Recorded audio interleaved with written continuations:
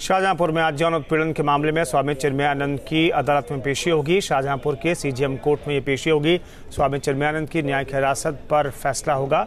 स्वामी चिन्मयानंद 20 सितंबर 2019 से न्यायिक हिरासत में शाहजहांपुर जिला जेल में बंद है। हालाँकि जिला जज की अदालत से स्वामी चिन्मयानंद की जमानत खारिज हो चुकी है।